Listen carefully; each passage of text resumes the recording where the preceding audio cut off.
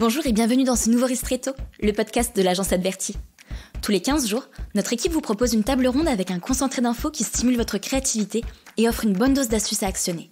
Stratégie, réseaux sociaux, référencement, marketplace, analytics, tous nos sujets de prédilection sont passés au crible sous forme de retours d'expérience, de conseils et d'analyse des tendances. N'hésitez pas à vous abonner. Pour ma part, je m'appelle Emeline Foissé et je suis la cofondatrice de l'agence Adverti, une agence de communication spécialisée dans le web, basée dans la jolie ville de Troyes. Mon équipe et moi-même accompagnons des PME, des grands groupes, des institutionnels, des e-commerçants et des startups dans leur stratégie de communication digitale. N'hésitez pas à vous renseigner sur notre site web agence-adverti.fr ou encore à nous envoyer un email sur ristretto.adverti.fr. Bonne écoute Bonjour et bienvenue dans ce nouveau Ristretto, le podcast de l'agence Adverti. Aujourd'hui, on a décidé de parler site web et landing page. Si le terme de landing page vous parle, c'est chouette parce qu'on va vous donner plein d'astuces. Si ce terme ne vous parle pas, eh ben, vous allez apprendre beaucoup de choses. Au programme de ce Ristretto, un point sur nos échanges avec l'AFNIC, l'association qui gère les noms de domaine en .fr, avec qui on a récemment donc eu la chance d'échanger et avec qui on a appris plein de trucs nous aussi. Ensuite, on se focalisera euh, sur la landing page. Qu'est-ce que c'est? Pourquoi est-ce qu'on veut insister sur le sujet? Quelles sont les bonnes pratiques? Etc. Donc là, c'est surtout euh, euh, Fanchon hein, au final qui, euh, qui, prendra la parole sur ces sujets-là.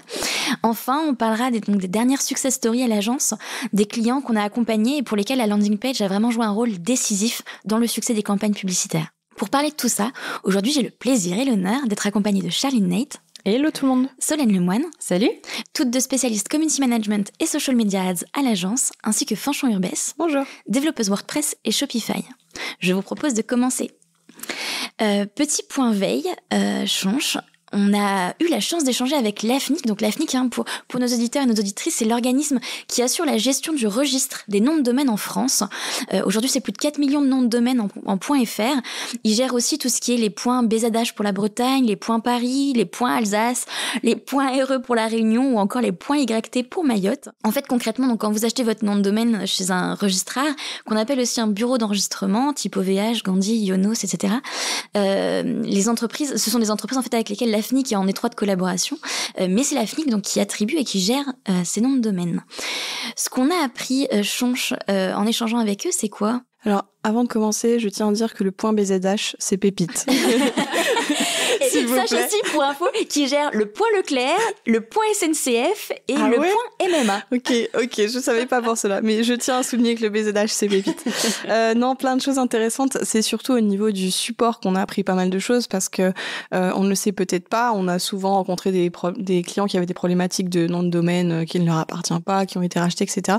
Euh, il y a un support hein, de l'AFNI que vous pouvez contacter 24 heures sur 24 et qui ils peuvent en fait vous, vous dépatouiller lorsque vous avez des, des problèmes avec votre nom de domaine. Euh, typiquement, euh, vous terminez une prestation avec une agence euh, qui a fait votre site et puis vous voulez tout récupérer. L'agence a l'obligation de vous redonner le nom de domaine. Alors parfois ils vont dire que non, mais ce n'est pas vrai. Là, c'est un cas par exemple sur lequel la FNIC peut vous aider. squattage de nom de domaine, la marque vous appartient, il faut racheter le nom de domaine, etc toutes ces problématiques-là, en fait, il y, a un, y a un vrai accompagnement de la FNIC qui peut, euh, qui peut vous aider si vous avez des, voilà, si vous n'arrivez pas à vous entendre avec, euh, avec euh, quelqu'un d'autre qui aurait, qui aurait pris votre nom de domaine, par exemple. Donc là, à noter quand même que c'est valable uniquement pour les noms de domaine en .fr. en .com, c'est c'est un organisme américain qui, qui les gère et pour lesquels ils ne pourront rien faire. Ouais. On a aussi appris, on a eu la confirmation euh, du faible lien entre nom de domaine et SEO. Est-ce que tu peux nous en dire un peu oui, plus? Oui, exactement. Bah, on a tendance à penser que euh, les, les mots-clés qu'on va mettre dans notre nom de domaine auront un, une influence importante sur le référencement naturel de notre de notre site web. Euh, bah, du coup, ils nous ont confirmé que non, hein, il n'y avait pas de, de, lien réel. Alors évidemment, c'est un, un lien dans la tête de l'utilisateur. Enfin, forcément, c'est c'est le, le, le, votre domaine d'activité, donc c'est important d'avoir quand même quelque chose qui est en lien avec euh, soit votre marque, soit votre domaine d'activité. Mais en tout cas, ça n'a pas d'impact sur votre sur votre SEO. Est-ce qu'il n'y a jamais eu de lien?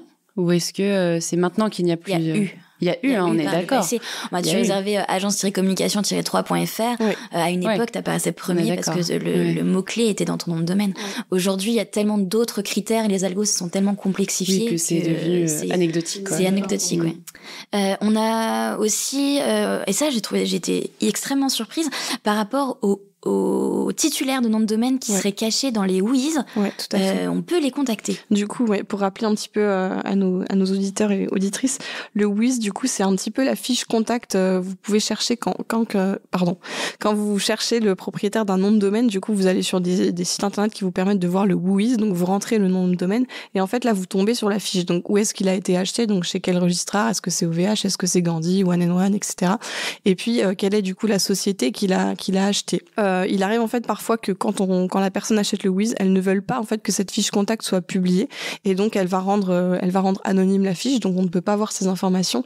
Et en fait, euh, bah, effectivement, on a appris que l'AFNIC pouvait nous aider à, à, tout simplement récupérer ces informations qui, qui sont masquées.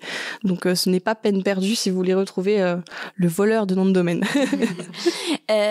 il faut aussi savoir qu'un bon nombre d'actions euh, proposées par la FNIC en fait sont gratuites euh, et les tarifs euh, que, que, notre interlocuteur nous avait évoqués, je m'en souviens plus en toute transparence, mais en tout cas, il me paraissait dérisoire par rapport aux au problèmes que ça pouvait être d'être voilà dans, dans, une dans une situation où le nom de domaine voilà est, est vraiment primordial.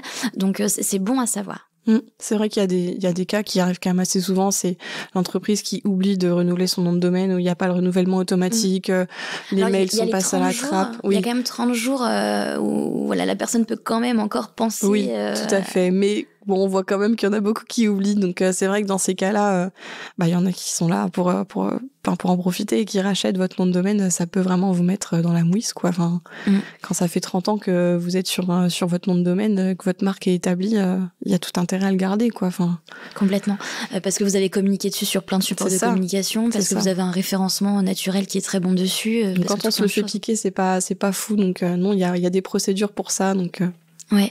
Et l'autre cas aussi qu'on a eu à l'agence, du coup, c'était une personne qui rachetait une entreprise. Euh, et euh, donc normalement, il y a, y a, toute la partie euh, dans, ce qu'on appelle dans les assets. Hein, il y a le, le nom de domaine. Et là, euh, l'ancienne propriétaire ne voulait pas transférer le nom de domaine. Ça a été un, un rachat très compliqué. Euh, et la FNIC m'a confirmé qu'ils auraient pu intervenir justement avec leur système de médiation pour que la passation du nom de domaine puisse être faite. Super. Euh, merci. Donc, euh, toujours autour de tout ce qui touche euh, au site web, on va se focaliser plutôt sur la partie landing page pour cette deuxième partie. Euh, justement, est-ce que tu peux nous indiquer euh, qu'est-ce qu'une landing page, à quoi ça sert, c'est quoi la différence avec un site web? Enfin voilà. Alors, je vais faire appel à notre cher Alix. Alix, si tu nous écoutes. oui, j'espère qu'il nous écoute effectivement, euh, qui a donné effectivement une très bonne comparaison de la landing page. Qu'est-ce que c'est? Vous avez bah, votre livre et vous avez la quatrième de couverture. Et ben, vous avez votre site web et en fait la quatrième de couverture, c'est votre landing page tout simplement. C'est la page de destination. Enfin, on appelle ça aussi comme ça en français, même si on ne dit pas souvent, on dit plus landing page. Mais c'est effectivement la, c'est une page qui va se, se focus sur un produit ou un service de votre entreprise et qui est là pour pour amener l'utilisateur vers la conversion. Donc on va vraiment euh, focus euh, sur les, points euh, les points impactants du, du, service ou du produit que vous proposez. Et puis l'objectif c'est vraiment d'amener l'utilisateur à je sais pas prendre contact avec vous, acheter le produit, vous téléphoner, etc. Mais c'est une page du coup qui est succincte et qui est construite dans l'objectif vraiment de, de mettre de vendre votre produit. C'est vraiment une page commerciale quoi. Et euh, il y a quand même, euh, alors on l'utilise beaucoup dans les, pour les campagnes publicitaires. Hein. C'est rarement des pages qu'on essaye d'optimiser pour du pour du SEO. Euh, il y a quand même des choses à savoir au, niveau de ces de, de ces landings. C'est surtout la structure. Oui, euh, effectivement euh, comme tu disais tout à l'heure en off, on va pas réinventer euh, la roue, c'est ce que tu c'est ce que tu as dit.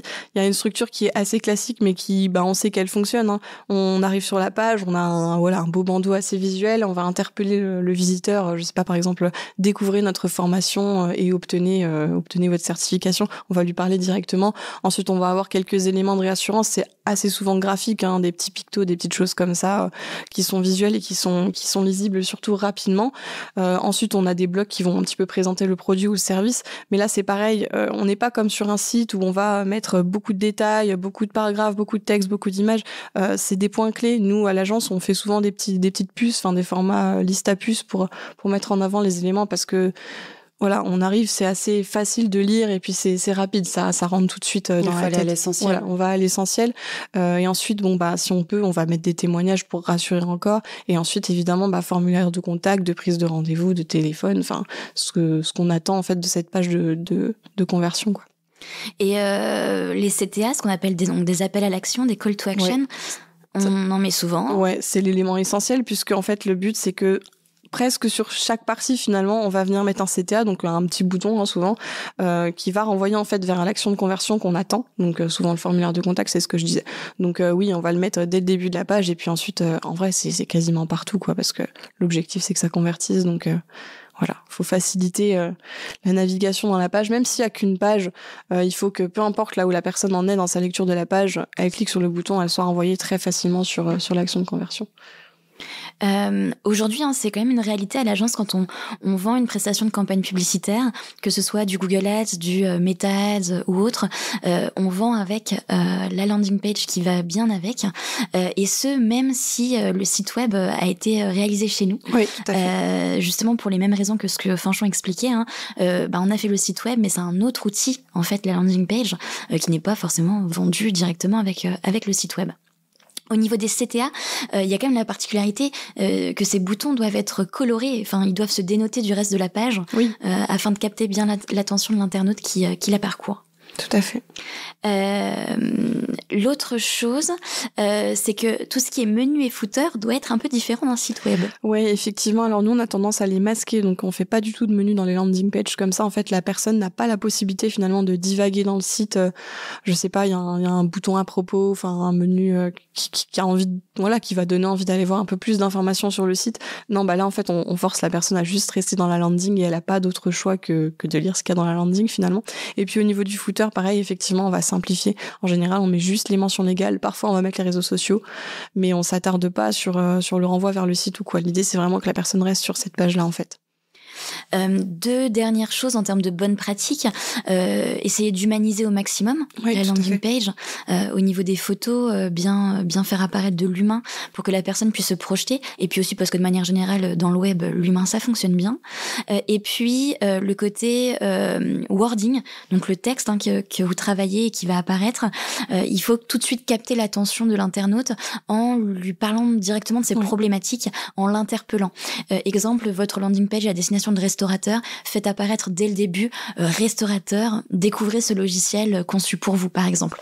Parce que là tout de suite la personne va se dire je suis concernée, je suis concernée, il faut que je découvre le contenu, il faut que je découvre cette page. Euh, et ensuite, si vous expliquez, ben voilà, toutes les problématiques que les restaurateurs euh, que vous ciblez rencontrent et que votre pro, enfin que votre logiciel, par exemple, va résoudre, euh, il faut que vous puissiez les expliciter directement. Oui, il faut vraiment que la personne se sente ciblée, effectivement.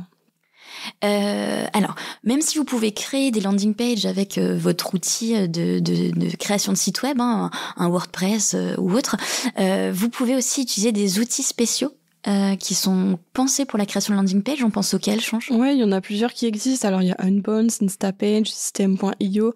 Euh, il y en a pas mal hein, sur, le, sur, le, sur le web qui vous permettent de créer des landing pages. C'est en plus, c'est assez simple à prendre en main. C'est à la base de templates, enfin de, de modèles en fait, que, que l'utilisateur va, va, va mettre en place. Et puis ensuite, vous avez l'accès à vos statistiques, vous pouvez faire de l'A-B testing, des choses comme ça. Ok, c'est un coût mensuel. Hein. Oui, par contre, effectivement, ce n'est pas gratuit, malheureusement. euh, ça marche. Pour euh, la troisième partie, euh, j'aimerais qu'on évoque les success stories de l'agence. Chacune, vous avez une, une, anecdote, on va dire, à raconter au sujet des landing pages qu'on a pu créer pour nos clients. Charline, est-ce que tu peux nous expliquer quel est le cas client que tu as en tête? Oui, alors cet été, on a un client qui nous a contacté pour euh, promouvoir ses activités euh, bah, estivales et ensuite automnales. Euh, donc c'était un acteur du tourisme, je sais plus si je l'ai précisé. Non. Non, et ben voilà, je le précise. Euh, donc, il avait un site web à la base qui existait déjà. Euh, il y avait un système de réservation aussi mis en place sur ce site web. Euh, malheureusement, de notre côté, on n'était pas super convaincus par ce système de réservation, un peu compliqué, euh, trop long au niveau de, de de la mise en place, enfin de, de la prise de rendez-vous. Donc on a pré préféré opter pour une landing page. Donc cette landing page, elle devait être euh, promue par euh, une campagne SMA, donc euh, Facebook et Instagram. donc voilà, on a eu des très bons retours sur cette landing page. Première campagne estivale, on a eu une cinquantaine de prises de contact, ce qui est plutôt pas mal. Oui, pour, en tout cas, c'était au-delà des objectifs du ouais, client. On était sur une campagne locale, hein, pour rappel. Et ensuite, pour la seconde campagne, on a eu entre 70 et 80 prises de contact.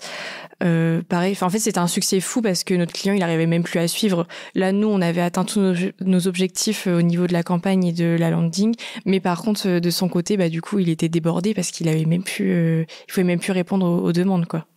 Top. Donc oui, là vraiment site web dans lequel on n'a pas confiance et au final on, se dit on, va passer par par une landing pour vraiment compenser. Ça a vraiment simplifié le process effectivement au niveau mmh, du visiteur. Mmh. merci. Soso, oui. Nous, du coup, euh, on avait eu aussi une, euh, une expérience un peu similaire avec euh, activité touristique euh, aussi, mais plus là, c'était pour des, cartes cadeaux. en fait, la, cliente donc vendait des cartes cadeaux pour les fêtes de fin d'année, et tout au long de l'année, elle propose des activités en, pleine nature, donc en, en, local aussi. Elle avait un, un site internet qui était qui était bien fait, mais qui rassemblait vraiment les activités de toutes les activités qu'elle proposait, qui étaient assez nombreuses, et au milieu de son site internet, il y avait un endroit où on pouvait euh, bah, commander une carte cadeau euh, pour euh, pour offrir à quelqu'un. Mais c'était vraiment un peu noyé dans tout le reste des informations sur sur son site. La première année où elle nous a contacté, elle voulait donc qu'on réalise une campagne publicitaire pour promouvoir ces, ces cartes cadeaux là sur euh, novembre-décembre, vraiment pour les fêtes de fin d'année. Et, euh, et, donc on a essayé de, de, faire une campagne en se basant, enfin en renvoyant vers son site parce qu'elle tenait vraiment à ce qu'on passe par euh, son site internet. Et euh, total, ça n'a pas du tout fonctionné au niveau des, euh, des, conversions parce que les, les gens arrivaient sur le site, ils visitaient le site, ils, ils regardaient un peu tout ce qui était proposé, mais ils ne trouvaient pas forcément le, la partie carte cadeau et donc ils, ils convertissaient pas pour pour pour ça. L'année d'après, on a retenté euh, l'expérience cette fois-ci en faisant une landing page, donc qui était vraiment centrée sur les cartes cadeaux et où euh, on avait une page donc qui expliquait rapidement le concept de, de l'entreprise, euh, qui réunissait aussi donc les différentes cartes cadeaux qui étaient disponibles, un formulaire de contact pour que derrière la cliente rappelle les, les prospects. Et là, ça a beaucoup beaucoup plus fonctionné. Là, c'était c'était vraiment le jour et la nuit. On a eu vraiment une belle preuve que bah, les landings étaient efficaces et euh, et ça a été une belle expérience, ouais. Top. En effet, euh, le, de nouveau un site web au final dans lequel on n'avait pas confiance et euh, quand on passe par un, un, outil type création de landing page, là on voit directement la différence en termes de conversion et de taux de conversion. Euh, chonchon oui, un, un dernier exemple, hein. effectivement, euh, autre exemple d'un beau succès. Euh, donc une cliente qui vend des formations en périnatalité, donc qui s'adresse à, à, toute personne qui veut qui veut se reconvertir ou qui veut se former dans ce domaine-là. Donc elle a fait le site chez nous, donc euh, site très complet, beaucoup d'informations, etc. Mais on a quand même préféré faire une landing page pour pour les campagnes du coup. Et en fait, bah oui, la landing a extrêmement bien fonctionné, beaucoup de prises de contact parce que la landing va à l'essentiel, qu'elle cible directement la personne. Enfin voilà, le site est très donc peut-être que il y avait aussi ce besoin pour les gens d'avoir aussi juste un petit condensé d'informations et d'être rassurés tout de suite en une page et de pas avoir besoin de parcourir euh, l'entièreté du site avant de, prendre la décision de prendre contact avec notre cliente. Mais un beau succès aussi. Le, le, site web, dans le cas de cette cliente-là, c'est vraiment un site web qui a été pensé pour le référencement naturel euh, et qui est très complet. En effet, hein, ça, mm. ça, vient presque remplacer une brochure. Oui, hein. c'est presque trop complet finalement. Là, les, les accordéons d'explication, etc. Pour, euh, enfin, c'est assez typique hein, dans, dans le secteur de, de la formation. Mais en tout cas, euh, en effet, euh, en allégeant le tout, on arrive mm. euh, à, à, quelque chose de, de très clair, de, de, limpide et au final qui va vraiment encourager la personne à prendre contact euh, avec euh, avec le, le, centre de formation en question. En général, euh, on peut derrière en plus faire du marketing automation. Donc là, on vous renvoie vers le podcast numéro 3. en, en, effet, derrière la prise de contact, il peut y avoir tout un scénario qui permet à l'internaute ben, de recevoir des communications automatisées par la suite si c'est par exemple dans le cadre d'un téléchargement de brochure, parce que tout à l'heure on parlait de de conversion. Pour certains, ça peut être aussi euh, du téléchargement de brochure et non pas du contact direct euh, via euh, via un formulaire de contact traditionnel. Oui, c'est vrai que je l'ai pas mentionné, mais oui, beaucoup de téléchargement de brochures, inscription newsletter, des choses comme ça aussi. Est-ce qu'on met un chat sur une, sur une landing page ou pas? On n'a jamais eu le cas à l'agence. après, je suis pas sûre de l'utilité. C'est vrai que le chat, il est quand même assez c'est quand même assez exigeant Ouais. euh, parce qu'il faut quand même euh, être réactif, c'est faut être dispo, faut avoir le bon outil dans les Ouais, mains. Euh, nous, enfin, on- les quelques clients qui ont un chat euh, passent entre autres par TalkTo. Euh, Il y a aussi Crisp qui, qui est assez connu maintenant. Mais c'est vrai que si vous avez un chat et que vous vous répondez pas et qu'au final ça finit par ben, laissez-nous votre email, ben ça vient casser le Mhm. côté un petit Oui, Mm. peu officieux du chat par rapport à, à un formulaire de contact. Euh, mais par contre, on a quelques clients qui ont un, qui ont un chat quand même sur leur site web oui, sur pour le coup site, et euh, qui, qui fonctionne plutôt bien. Je pense entre autres à un e-commerçant qui euh, vend des produits autour de 3000 4000 euros. Euh, là, les personnes veulent s'assurer qu'il y a bien quelqu'un Oui, derrière. bien sûr, bien sûr. et qui, que les personnes sont bien réactives, qu'elles existent bien. Et là, on renvoie vers un autre podcast sur les arnaques. Exactement. le tout premier. Le premier. Mais ouais. En effet, euh, le, la landing est un très bon outil en, en parallèle d'un site web. Super, merci à vous trois euh, pour votre participation. Je crois que ce ristretto touche à sa fin, sauf si vous voulez ajouter quelque chose. C'est tout bon, c'est tout bon, ouais. ça marche. Merci à toutes et à tous donc de l'avoir suivi. La landing comme outil phare pour vos campagnes publicitaires, on ne le répétera jamais assez, c'est une bonne idée. Euh, en complément bien évidemment d'un site qui est bien fait. Je pense que vous avez désormais compris les enjeux et que vous avez retenu les clés de succès. C'était en tout cas un plaisir pour moi d'animer ce ristretto avec vous. Je vous dis à très vite. À bientôt. À bientôt. À bientôt. Voilà, notre podcast est terminé. Si celui-ci vous a plu, n'hésitez pas à nous laisser 5 étoiles sur votre plateforme d'écoute préférée. Cela nous sera d'une grande aide pour faire connaître ce podcast à un maximum de monde. Vous avez des questions ou souhaitez échanger avec nous sur le contenu de ce podcast ou toute autre chose N'hésitez pas à nous contacter via nos réseaux sociaux ou sur ristretto.adverti.fr. À très vite